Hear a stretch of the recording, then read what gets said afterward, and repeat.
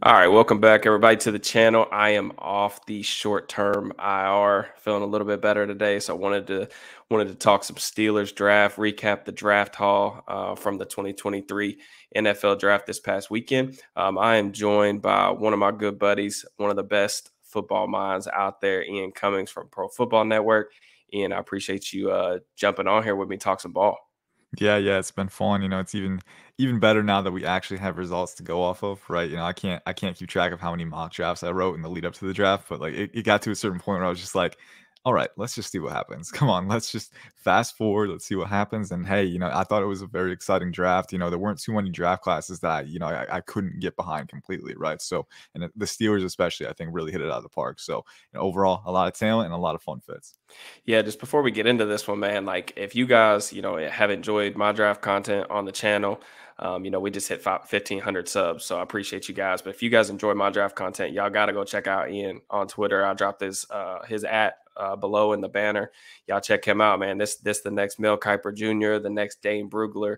Uh, this dude, you know, if I spend a lot of time on draft prospects, he he triples, quadruples the amount of players that I watch on a on a yearly basis. Uh, definitely one of my favorite people uh, to talk ball with, um, and I'm I'm glad that he's you know joining me uh, talk some Steelers stuff man, let's uh let's talk a little bit about Broderick Jones. I mean, we're, we're just gonna go through this draft class uh, kind of one by one. I want to get your you know your takes on you know the value, the players, you know how how you think they fit into the um, organization. But you know, give me give me your just your general thoughts on Broderick Jones. And you know, first round pick, the Steelers trading up a couple spots to grab him. What what did you think of that move?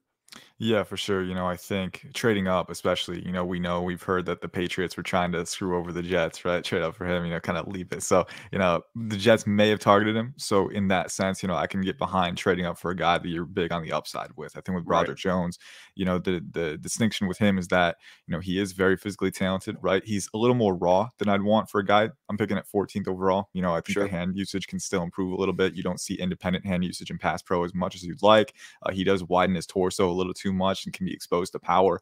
Isaiah McGuire, Missouri, really gave him trouble with that too. So, but I think, you know, overall, you know, all of the building blocks are there to be a blue chip starting tackle. And that's why, you know, especially this early, I can get behind making that that judgment call because six foot five, 315, he's got 35 inch arms. I mean, the dude has insane core core strength once he gets his hands on you. You know, I think that's, you know, that part of his game was very fun for me because even without independent hand usage, without elite independent hand usage, you know, he's got such good anchor strength when he's able to get his hands on. He can just stimmy rushes and suffocate power. So, and on top of that, too, you know, he's an explosive athlete very good recovery athleticism too. But then in the run game, I mean, that's well advertised. I mean, he's explosive, right. rangy, he's a physical finisher, right? So, you know, I think the athletic tools that you're looking for that's all there. I think the physical tone setting mentality that you're looking for, that's there too, right? And I look at the tackle position for the Steelers, you know, both left and right side, you're looking at those as positions that you could upgrade. A lot of people thought they might target a right tackle like Darnell Wright if he was there. He obviously wasn't there, but, you know, because Dan Moore did show flashes, right? But I still think there's room to upgrade there. So again, with Broderick Jones, you know, maybe on day one, it'll be a little rocky because he still does need to refine his technique a little more, but the physical tools are all there. The demeanor is there. And those are two very important pro- uh, products.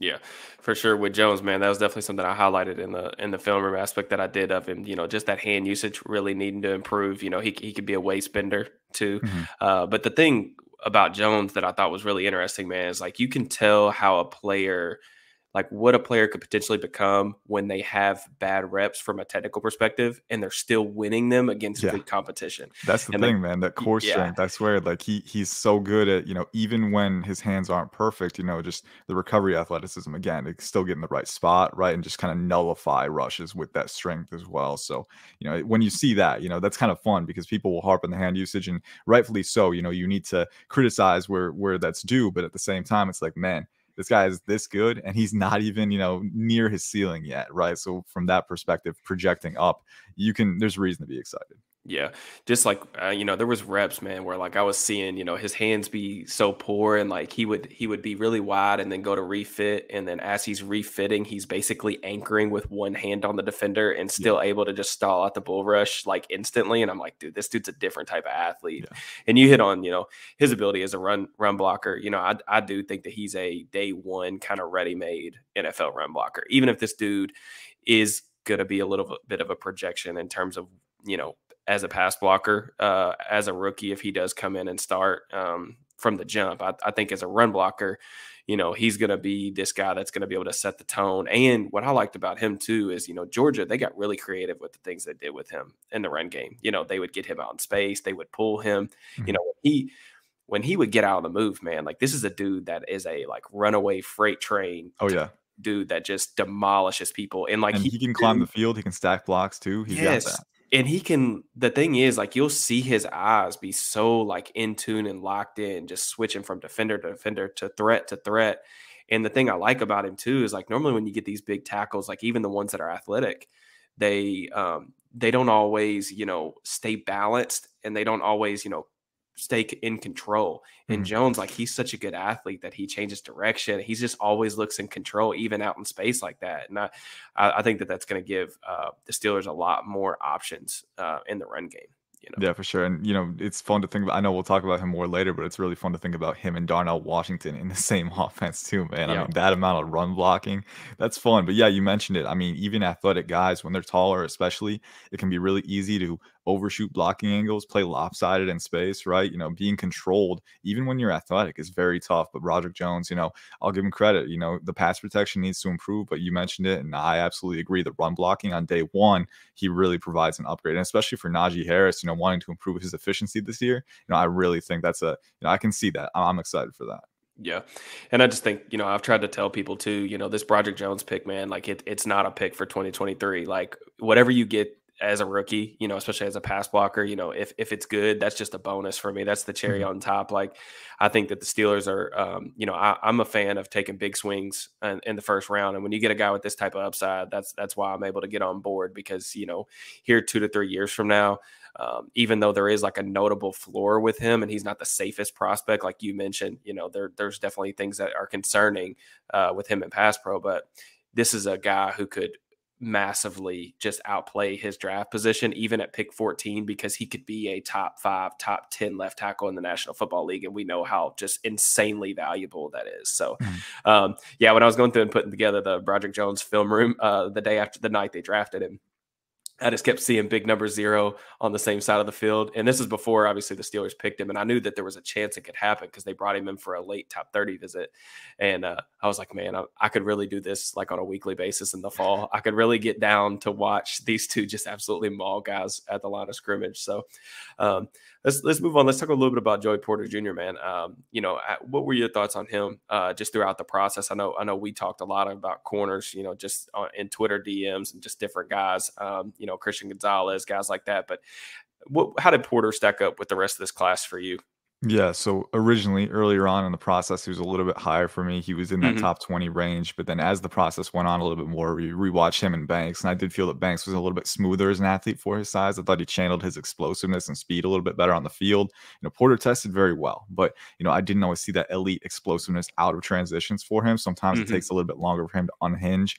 Uh, so that kind of drew him down, but I think you know, especially at 32, man. I think that was the optimal value to take him, right? You know, you saw some mocks taking him at 16 overall. It's like if you can get him at 32, that's a win and they did it. So I, I that was phenomenal. You know, uh, the legacy aspect aside, I mean that's kind of a fun bonus here. But I mean, six foot two and three four, someone said he's somewhere in that six two, six three range, but he's got 34 inch arms. I mean, the guy the guy is you know gangly out there. I mean, he's so long. You know, he's so physical too with the line. You know, just that reach can be smothering for wide receivers. And you know, he, I think he can clean up his technique both with the footwork and the hand usage. You know, the precision with his strikes. He sometimes kind of grazes guys, kind of you know, kind of shoves past them. Right. I'd rather you know make sure that you kind of hone in on that placement and then with his footwork too, you know, sometimes the controlled aspect of it can improve as well. And there are times when he's a little leggy, you know, you know, sometimes he can get tied up a little bit because you know he's not the best in terms of his fluidity and short area agility. But you know, he is very good for size. I will say that. And if you need him to turn 90 degrees and run with guys upfield, he's got the long strider athleticism to do that.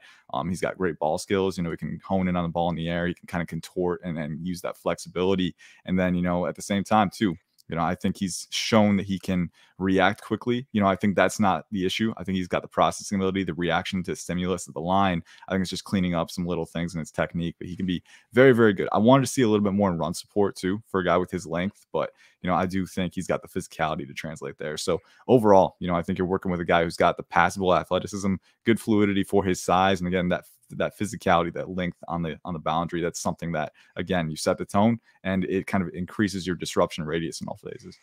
Yeah, and I was in, on the same page with Banks. Uh, he ended up grading a little bit higher than Porter Jr. did for me. I think Banks was the 13th player on my big board. Porter ended up coming in around 17th. Mm-hmm. Um, you know, with Porter, man, I'm glad that you brought that up with the um, the footwork. Um, you know, at the line of scrimmage, like that was kind of the the big hang up for me. I see a lot of false steps on on, on film. You know, just uh, putting himself in some compromising positions that he doesn't yeah. need to get himself into. You know, there there are times where you know he's not even reacting necessarily to jab steps uh, to either direction. Like he's just taking false steps just out of you know habit.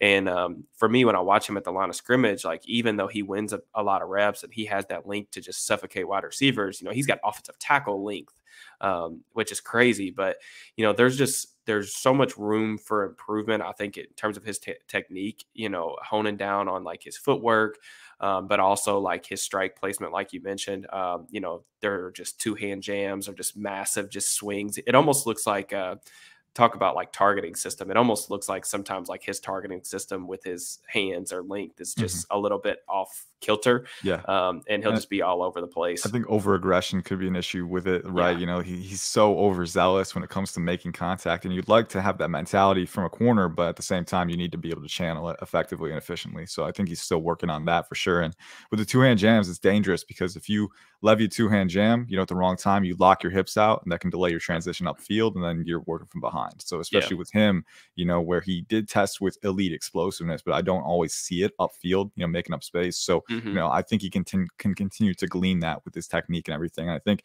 you know the the ceiling is definitely high but you know there is some work to do for sure. Yeah, I think with Porter too. When I went back and watched him, because he was a he was a guy that I actually remember tweeting out. I was like, hey, like I need y'all to give me the film. Like, give me the mm-hmm. film that sold y'all on Joey Porter Jr. Because I was seeing like you know early in the process, I was seeing mock drafts, and it's like he's not even making it to 17, and I'm like. Mm-hmm. I just don't see I don't I don't see him as like a top 15 prospect in this class right now. Um, so I went back and watched some more, and I, the more I watched, the more I kind of saw it because I like kind of like Broderick Jones, like he was making technical mistakes like with his footwork or with his hands, but still winning reps in spite of that, and I, it was starting to get me on board. But also like I also thought that um, you mentioned like those transitions from press, like uh, carrying guys vertically and things like that. I actually think his hips are pretty fluid for a taller corner. I don't know if you'd agree with that or not, but I think they are. Um, yeah, I think it's more technical inefficiencies that will hang him up at times, but I do yeah. think he has the fluidity. And even though I don't think that he has that elite recovery ability, I think it's good enough. And I think that um, something we really don't talk a lot about with corners, but recovery length is almost the thing with him because oh, yeah, sure. even when his foot speed isn't necessarily always um, good enough to get him out of those compromising positions, the length in terms of just getting back into passing lanes is elite, elite. And that was something too. Um, you know, a lot's been made about the the lack of ball production, and I completely get it. You know, in today's NFL, it's nearly impossible to stop these elite quarterbacks. You know, you need to turn the ball over, and I'm not sure that Porter Jr. is ever going to be that elite playmaker that you're looking for on the boundary, but this dude locates the ball. Like mm-hmm. it's it's a little bit different for Banks. Like Banks, when I was watching him, that was one of my big hangups with him. Was like, you know, he just would not flip his head around and get his head back around to the football. There was times where, you know, he would be beat and he would do a good job, you know, getting himself back into phase, but like he left turnovers on the field because he wasn't locating the football. Porter mm-hmm. Jr he was locating the ball. It's just he was going after deflections. You know, he had that dropped pick against Purdue where he was the cover two uh, cloud corner and he jumps that and it just hits him right in the hands. It just falls right to the turf. Mm-hmm. Um, so I don't know if he's a playmaker, but I do think, you know, he gets his hand on the football, even for being a guy that was largely avoided. That was another thing. Like he, they avoided him like the plague this past season at Penn mm-hmm. State. I mean, Kalen King ended up getting a ton of reps. Like we have a ton of really good tape to go off uh, for him next cycle because yeah, he hogged he all the. He had crazy. Like 15, yeah. But it's because you know after that first game against Purdue, where Joey Porter just smothered Charlie Jones, man, it's like. All right, we're going the other way. But yeah. um, yeah, it's fun, and I think the, the the fun thing with Porter is that you know when he is working with his face to the ball, right, like on, on digs and stuff like that, and slants, mm-hmm. you know he has the length to really you know, wrap around and disrupt the cage either either way, even when he's working from behind. You know, I think that in itself is very valuable too. Yeah, yeah, he's gonna be a difficult dude to uh, throw that underneath stuff. Like you talk about, um, like all these RPOs and stuff that you know the NFL um, landscape has kind of shifted towards. You know, he's gonna be a diff- difficult dude to throw those because you know he's like you said, he's gonna be able to reach from behind and uh, disrupt uh, throws in the passing lanes. Um, let's let's move on to Keanu Benton, man. This this was a dude that um, you know all draft cycle I kept hammering. You know, Keanu Benton just feels like a Steeler, you know. And mm-hmm. I even I know you don't necessarily just cover the Steelers, you cover all the NFL teams. Uh, but Benton to me just he just fits so many uh, of the Steeler characteristics, checks so many boxes. Um, what, what, did you think about Benton through the pre-draft process? Like, what kind of grade did you have on him, and just some of the things that you liked that you saw on tape? Yeah, for sure. And uh, my defensive tackle grading, that's something I'm going to revisit this coming cycle because guys like Benton, Mazi Smith, for instance, like mm-hmm. didn't grade as highly for me initially. And I didn't have a ton of time to regrade at the very end of it. But I was looking back and I was reevaluating. I was like, I mean, I feel like I didn't do them justice, right? And Ben is mm-hmm. one of mm-hmm. those guys, right? I think, you know, he's got a lot of what you want uh, for a guy who can play one tech or three tech, right? You know, I think that disruptive three tech is probably where he fits better, but he can slide into one tech if you need him to, you know, 6'4, 310, 34 inch arms, right? So again, natural leverage, proportional length. And this is a guy who, you know, some of his best reps were in run defense, you know, the stack and shed that he can do. Like, I mm-hmm. mean, he's so good at locking out and then ripping anchors down with that power, with that strength uh, and at the same time, too, the flashes and as a pass rusher too, uh, very exciting. I mean, this guy is his arm over has been just completely unraveling offensive linemen in the Big Ten since like you know 2020, going back that far, man. But especially down the stretch in 2022, uh, I mean that explosiveness off the line. You know, I do think he can be a little stiff in the hips sometimes, but I do think the lateral agility is there to work across face and invade gaps too. And then he just has clubs for hands, man. I mean, if he gets his hands on in the right spot, he can channel that power. He can send linemen lurching, and he's got a very good motor in pursuits too. So I think you know stacking and shedding, maintaining positioning and run defense, you know, being a disruptor in the pass rushing game too. Uh, I think he's got all of that talent there. So I was a big fan of that pick. I think especially for the Steelers who needed needed a little bit more reliability in the interior mm-hmm. rotation. You know, I think Ben still has some things to clean up, but right away with his physical profile and his three down ability, uh, I think he provides some very good value for you. And on top of that too, there's still room for him to keep growing as a pass rusher. Yeah, you talked about the motor, man. Like that, that was something, you know, the Steelers defensive line lineage, you know, you look at Cam Heyward, Stephon Tuitt, guys like that, they've always just played with that red hot motor that never stops, you know, sideline to sideline, chasing plays down from behind. And I see that with Benton.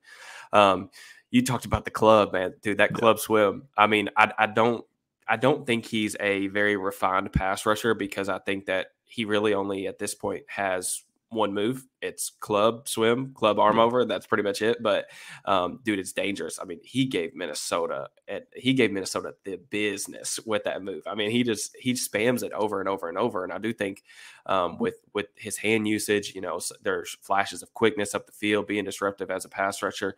I'm excited about what he could potentially become. Um, and then as a run defender, you mentioned uh, just when he gets the opportunity to work one on one. I mean, his hands are incredibly powerful. You know, he can lock out, he can shed. Um, he, he's a difficult dude to sustain blocks against, uh, part, partially because of that motor. Like he just he doesn't give up uh, easily on plays. But I wanted to talk to you about um, this is something because I'm in the process of doing the clips for the Benton film room, mm-hmm. um, and I wanted your take on this. But um, to me, I do think he's more of a three tech rather than nose tackle, like what I saw on film. Uh, was you know he when he was uh, trying to you know go up against double teams uh, from offensive linemen, you know he his leverage is constantly high in my opinion. I think he plays a little too high, and even when he does play with good leverage, I do think that he struggles to kind of quickly transition to that anchor with his post foot, um, and guys can kind of just generate a little bit too much displacement. And I think at, at nose tackle, it's a little bit more difficult to um, overcome that rather than that as a three tech because you're going to see more, especially in an odd front like the Steelers have. You're going to see more double teams. Uh, so I wanted your kind of take on that. Like, like something you agree with, or you know, um, what what did you see on film with that?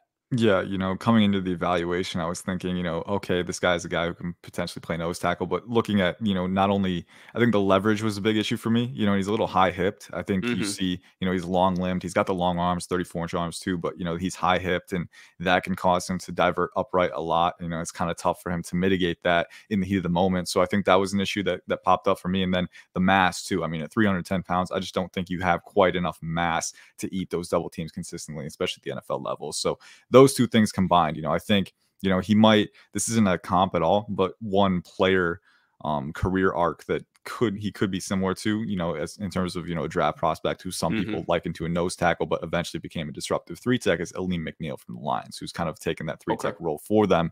Uh, you know, and he's got the mass and the length to be very very violent in that role, right?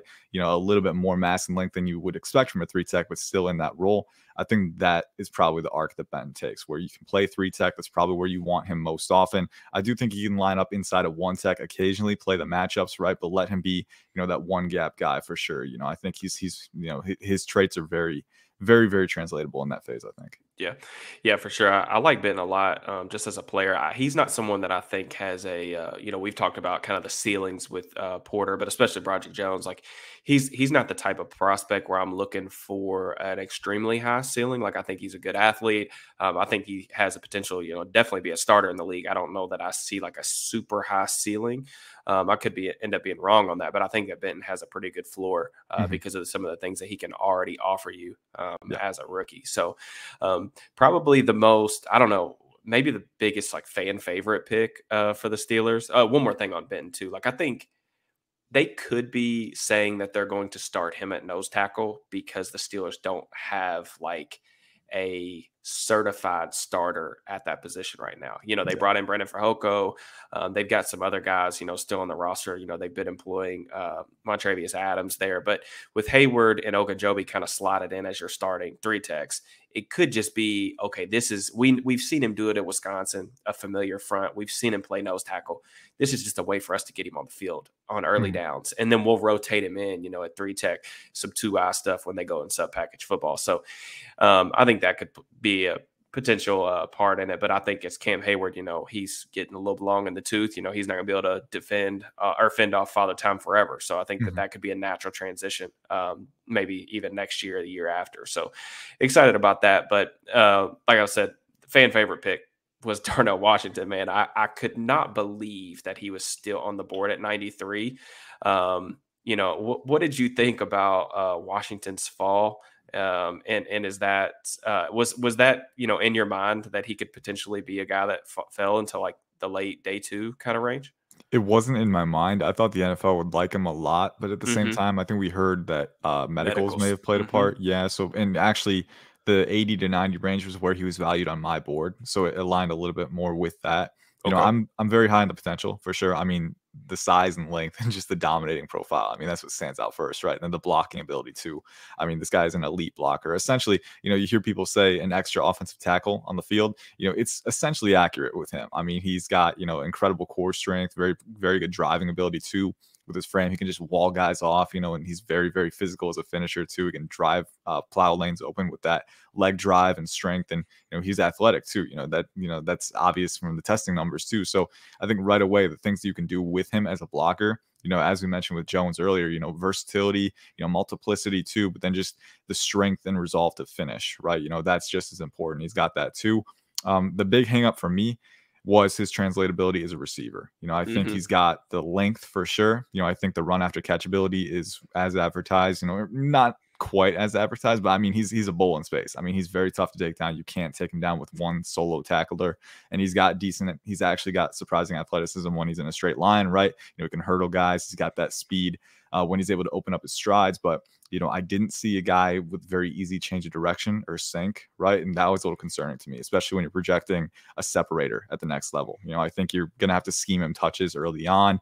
You know, I think you're going to have to, you know, get him open in the flats, right? And let him work as a run off catch threat. You know, in the red zone as well. I like his utility there. But even then, you know, he, he's got the wingspan and, and the play strength but he can be a clap catcher sometimes where he's going to bring the hands together, you know, a little too late. You know, I want to, I want to see more diamond technique from him. And again, he's got massive hands. I mean, he, he you saw that one clip from the combine where he just snared yeah. it with one hand, right? So, you know, the tools are insane for sure. But I think technically, you know there's some ways for him to keep improving to kind of you know grow into that image that people have of him. And then as a route runner too you know i think he is a little too upright lumbering as a mover for me to project a ton of growth there. So i think you know but at the end of the day if you get a elite run blocker a solid run after catch threat in the flats and the short range and a red zone threat is worth it. Yeah you know as a tight end too you know that's a lot you know that's something i'm willing to bank on. So you know i think you know, people looked at the RAS and they're like, this guy's got generational upside. It doesn't quite translate on the field all the time, but I do think there is a, a very confined role for him where he can be successful. Yeah, for sure. Uh, I like what you said too. Like, you know, not just being like a sixth offensive tack or, you know, a, another offensive tackle, but six offensive linemen. But, you know, just the way he can operate like as a force multiplier in the run game. I mean, like this dude, you get him on double teams, allow him to climb to the second level, you know, get out on the perimeter. I mean, he is just an absolute alien in space. And I really like that about his game. Um, one of the things that I, I want to see from him is – I do agree that he's so stiff as a route runner, and I don't think that that's something that's necessarily going to change um, at the next level. But I want to see. We didn't get a lot of contested catch uh, opportunities in that Georgia offense. You know, he was, you know, he just wasn't one of their premier weapons. Uh, wasn't focused on in the game plan. I want to see in the red zone if that translates at the next level because, like you said, um, as a tight end too, like the things that he can do as a run blocker, um, there's value in that. But I want, if we're talking about upside as a receiver, where is that upside going to come from? You know, and I, I, I don't have the answer to that. I do think he's a good run after catch threat. You know, guys, especially smaller defensive backs that are going low on him, he just you know plows right through him. You know, yeah. the leg drive and stuff like that. But I wanted to know, like, kind of, um, you know, as far as like some of the things that you can do with him. I mentioned, you know, going 12 personnel, uh, things like that. You know, what are if you were an offensive coordinator and you were, you know, to get your hands on a guy like Darnell Washington, like what do you think is the best utilization of him, or how some what are some of the ways you can get creative with him um, early on in his career? Mhm. Well, obviously, the things that he can do as a run blocker, and and the good thing is that on tape at Georgia, you know, they basically you exhausted that to the full amount. So, you hmm know, you've kind of seen what you can do. You can pull him from right to left. You know, you can get him in space, like you mentioned. You know, you can have him chip defensive linemen and climb up the field and just smother defensive backs and just plow open lanes. You know, rotate out, kind of hinge out like that. You know, I think there's a lot of different things that you can do with him as a run blocker. You know, I think you could even line him up in line and just let his power take over, you know, as a lead blocker for you. So I think, you know, especially with all those aspects, you know, that's how I would use him. I would, I would say, you know, in regards to how to use him as a blocker, just get creative and, and try not to put a, a ceiling on it, try not to put a lid on it because there are so many ways that you can use that straight line athleticism and that power. Um, and then as a, as a receiver, you know, again, I would probably, get him the ball in the flats, right? Try and scheme ways for him to get open underneath, right? Because then, you know, even as a RAC threat, you know, he's not the most agile guy. He's more of a straight mm-hmm. line runner, right? So, you know, get him space where he can open up and really get churning because once he does, man, he's a freight train. So it's like, you know, get him opportunities to do that. And then obviously run red zone opportunities, right? You know, goal line phase, you know, stuff, stuff like that from in line position, right? You know, I think Uh, he's got to refine his hand technique again because the clap catching comes up a little too much right. for me. But I do think the length, the the wingspan as well. Once he refines that, I mean, it's really tough to go against that in the red zone. I mean, that's a guy who is a mismatch against defensive backs, against linebackers. I mean, if you can just get the ball to the highest point, he's the guy who's going to get it, right? It's just a matter of can he haul it in? Can he right. secure it, right? So I think that'll be a really good utility for him once he refines that. I want to see more refinement, but you know, very, very versatile run blocker very imposing run after catch threat in the vertical plane and a red zone threat. I think that's kind of your your framework for Darnell Washington. Yeah, and the Steelers. The good thing about that is like you know Washington. You know, adding him in, into the fold in the red zone. You know, they've added a guy like Allen Robinson as well, another guy who has literally made a career out of making you know above the rim type catches. And then of course you got George Pickens, who was you know one of the NFL's best contested catch threats uh, last season. So I think all in all, you know, they've got the weapons to be an improving uh, red zone team next year. Um, let's talk a little bit about Nick Herbig, uh, edge rusher from Wisconsin. You know, a lot of people were projecting him, you know, to make a move to off-ball linebacker, but it seems like the Steelers are at least going to try him at edge rusher. Um, you know, to start off with, you know, my thoughts on Herbig. You know, just an electric first step, very sudden mover, um, speed rusher through and through. Like loves to win the outside shoulder, gets vertically, you know, with with the swiftness, uh, mm-hmm. uh, but has some inside counters. I was impressed with like the pass rushing uh, plan. But what what did you see from Herbig? Was he a guy that you um, you know projected as an off ball linebacker? I know that's kind of tough because we don't really have any reps of him doing that. Uh, but how do you see Herbig at the next level? Like, what, what do you see his role being? Yeah, so I saw him as the edge. You know, I think that's because okay. just stylistically, I think that's where he translates best. I mean, you mentioned it. He's going to be a speed rusher through and through. And, you know, part mm-hmm. of that is he's got 31, you know, arms under 32 inches, right? right. He's only around 6'2, 245, right? So he's going to be a speed rusher, right? But I, I think, especially for the Steelers, right? You know, I was trying to pinpoint guys who could be that really good third edge for you behind TJ Watt and Alex Highsmith. And And Nick Herbig was high on that list. Think on day three, that was a great add for you.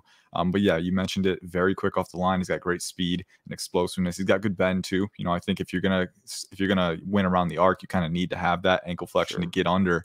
Um, and he's got that. He's got the speed to beat the tackle to the apex, the bend to get under and penetrate the pocket too. But then on top of that too, you know, he's shown that he can string together pass rush moves and multitask while bending around the edge. I think that's very good. You know, I think part of the reason he can work outside to inside is because working across face, he's very um very opportunistic when it comes to using his hands to swat away extensions, right? You know, he's not the most powerful guy with his knockback force, but you know, he's very technically refined for his size, and I think that helps him uh, with that. So I think you know, again, without the elite length and power capacity, the ceiling is going to be a little lower for you. But if you need a speed rusher who can be that spark plug off the edge, he can do that. And then I do think he he's shown that he can at least drop out to the flats sometimes from that position too. Again, I don't think off ball, you know, inside linebacker is really in his future. But if you need him to, right, you know, if there's a tight end sneaking out, you know, he can at least do that as well. So, you know, I think a very able speed rusher in that rotation kind of provides that spark. And again, you know, has a little bit of inbuilt versatility for you. But yeah, I, would want him to pin his ears back and attack. That's kind of how I would use him most. Yeah. I think like just what it does, man. Like you think about, you know, TJ Watt, Alex Highsmith, those guys are going to need a breather. But, you know, last year in the in the recent years, you know, when those guys have had to come off the field or they've been injured, like offensive tackles were kind of able to get real relaxed. You know, the Steelers haven't had those threats behind them. But I feel like with Herbig, at least with his first step, you know, offensive tackles, even if they know they're getting a speed rush, it's still a matter of like, okay, I have got to get to my landmark before yeah. this dude gets there. And even he's then, he's blow by me. He's so low too, right? Yeah. So you know, getting to that position to you know get hands on him it's tough because he's got bend too, right? But he's also so low to the ground. You know, these offensive tackles are going to be lurching, trying to, you know, kind of lurch beyond their center of gravity, mm-hmm. get him off balance, and you can capitalize on that. So it puts you in a tough position, especially when you're gassed facing Watt and Highsmith. Yeah. And last thing on Herbig, like for me, I was trying to come up with a comp for him because uh, he's so, such a unique guy. I mean, I think Wisconsin had him listed like 220, or 225, 228 yeah. range. I mean, he and he looks it on on film too. He looks light, like you said. He doesn't have that that power capacity, even even when he does uh, establish like first contact with his hand usage. Um, you know, he's not he's not a guy that's able to just run through the middle of you. Um, is there a, is there a comp that you like maybe for Herbig, or is there there is edge rusher that you've studied in recent years that kind of wins in a similar way because my, my thing with him and this is something i highlighted in the video on the channel is just that you know there were times where he was able to get the offensive tackles turning to where they're like basically sprinting out because he's already gotten by them you know hitting that landmark uh, but then when he would get them turned where like most uh, you know elite edge rushers that went with speed, what they're going to do is, you know, take that long arm, put it through the offensive tackle's chest because they're already off balance, right? And then just yeah. drive him back to the quarterback. When he tries to do that, it just the the the power just fizzles out. Like there's just nothing behind his hands, and I just don't think he's overly powerful. Is there a rusher that's that you can remember kind of in a similar way, or somebody that wins like that, and it did it improve at the next level?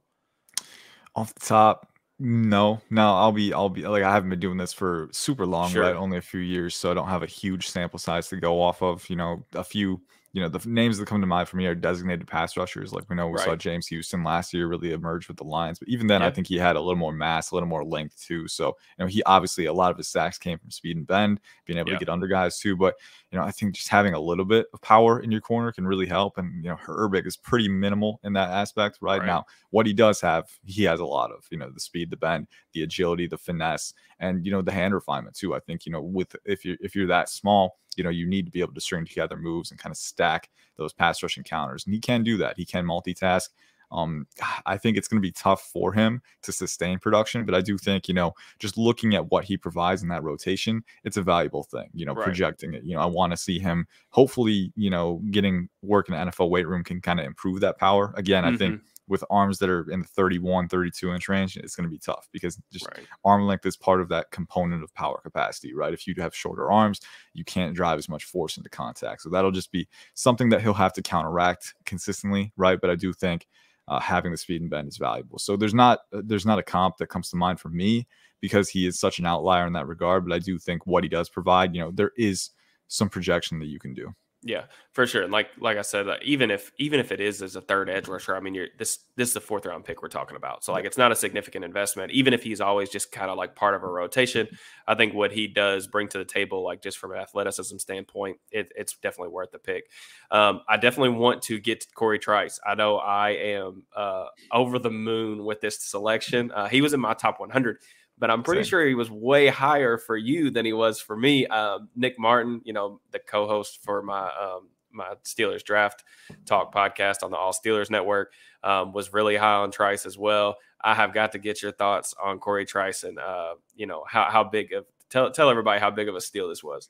It was a huge steal, man. I swear. I was like, and part of me was kind of tempering my expectations. Like I was thinking, all right, he'll probably he might hit the undrafted pool because he had a season-ending knee injury in his history. So I thought mm-hmm. medicals might push him there. And then the Steelers got him. I was like, let's go. like, hey, let's. I was pretty hyped, man. I know Nick had him in his top 50, man. I had him in my top 100 too. So I was a big fan. Uh, he caught my eye I think before the season-ending injury. It was mm-hmm. I was mm-hmm. reviewing like the 2020 tape and uh, you know, just the fluidity off the line. I mean, he turns and he's just running with guys at 6'3, 206. I was like, okay, this guy's got, you know, he's he's basically on a swivel out there, man. And then, you know, you look at the tape this past year too. Uh, he really came back at 100% from that injury. You know, I love to see him recover from that. But then just the size, the physicality at the line, man. You know, I think the scheme versatility that you can bring this guy into is very, very exciting because, you know, he's got the physicality to kind of set the tone, kind of dictate reps at the line. He can be a little overzealous at times, kind of similar to Porter. Mm-hmm. He'll sell out with those two hand jams. You know, I think. I think Trice is even more fluid to recover. You know, that's the thing that excites me with him. But you know, you can refine that a little bit more. Um, I don't think he quite plays that four four seven speed all the time. Right. You know, there are times that he gets beat deep, but you know, he does have good explosiveness out of his transitions. Again, you know, he can track the ball very well. I think, you know, he's one of he, he's one of the better corners in the class when it comes to really contorting, you know, extending beyond his frame and timing those extensions to the catch point too. Uh, so that was fun. You know, I think he improved a little bit more in run support this past year, showing that physicality downhill. Uh, but just yeah, I think the coverage toolbox that you're working with is very fun for a 6'3", 205 guy. You don't expect him to be as fluid and as free of a mover that he is, and he's physical. You know, he's a playmaker at the catch point. You know, he's got good eyes in zone too, where he can kind of peel off, drop back, and kind of undercut routes too. So, you know, I'm a big fan, man. I think if he can stay healthy, you you might have a starting tandem right there. You know, I, yeah. I don't want to jump ahead, but you know, he was a round two, round three player that dropped because of medicals, and the Steelers ended up getting a massive steal, in my opinion. Yeah, yeah. You talked about like just the ability to peel off in zone coverage. Like I, I think back to like the Maryland game from this past season, he had an yeah. excellent interception. You know, kind of just dropping in zone coverage, uh, undercutting a pick. Um, but you know, like for me, just I watch a lot of corners uh, every cycle because it's like my favorite position to scout. Mm-hmm. Um, me and you talk about corners all the time, uh, and you know when you look at guys that test this way, and you know the testing matches what you see on film for the most part. I do agree that um, I was a little bit taken aback by the four four seven. I thought he was you know four five guy, yeah. um, but I thought for the most part, like the agility numbers that he put up at his pro day, I thought that you know for a bigger corner, like he moves really well. He changes directions really well. You see that uh, when he's defending like stops and comebacks and stuff like that. You mentioned the ability to you know swivel his hips and get downhill. He can really really do that at a high level.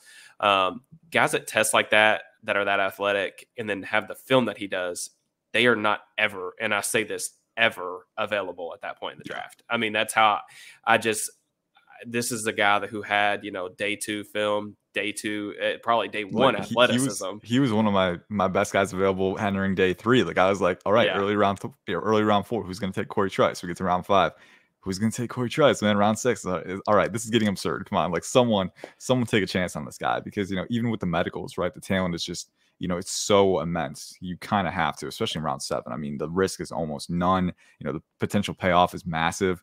You know, I feel like teams, if he does stay healthy, teams could really regret passing on him. Yeah, totally agree, man. Uh, before I get you out of here, last player. Uh, Spencer Anderson from Maryland, you know, a guy who's played all over the offensive line. And we talk about, you know, guys that are going to get drafted late. Um, they need to be able to play multiple positions, have that positional versatility. Uh, because you know, if you're a backup, you know it's really hard to make a living at the NFL level if you only know how to play one position or one side. And that's one thing that Anderson can do. He can play both sides. You know, he's a little ambidextrous in that regard. Uh, you know, what did you? Uh, he was the only player that the Steelers drafted that I hadn't seen. You mm-hmm. know a lot of tape on. He was the, the only player that was outside my top 100. Uh, but what what did you see from uh, Spencer Anderson? Yeah, for sure. Solid pick this late. You know, I, I didn't watch quite as much of him as I did mm-hmm. other players, but again, I mean, 6'5, 308. I think he ran a in the 5-1 range at a 30 and a half inch vertical, right? So again, he's a very Tested good athlete. Very well. You know, he's a very good short area athlete. And for that size, too, he's 6'5, 308. But at the Shrine Bowl, man, I got to see him in one on ones and he looks like he's you know he looks like the part of a center he looks like he can play that like he looks almost 6'3 300 out there because he's just very good at bending his knees acquiring proper leverage too so you know i think that ability to acquire leverage at his size. He's got fairly, you know, he's got over 32 inch arms. So again, not elite length, but again, he's shown that he can at least generate some knockback power, right? You know, he's got pretty good core strength too. So I think he's a guy who can be positionally versatile for you. I think at that point in round seven, just getting offensive line depth, a guy who can play multiple spots, that's valuable, right? I think that was the one thing that I was looking for from the Steelers. You know, all right, you've hit everything. You know, just get a guy who right. can, you know, kind of shore up that line a little bit more because there is still some uncertainty there. I think Spencer Anderson does a great job with that. So round seven, I'm I'm all over that for sure. Yeah, I think for me, uh, and I don't know exactly how it's going to play out in the long run, but I think you know getting a guy like him with that type of short area athleticism, change of direction, um, you know, guy who can get really get out of his stance. Um, would like to see him given the chance to play some center um, in in training camp and in, through the preseason, just because I think that that's one position that the Steelers could potentially upgrade. You know, they spend a lot of time on interior offensive lineman prospects throughout the process, guys that have that center capability. Um, and Anderson, I, I, I, like it as like a cheap flyer.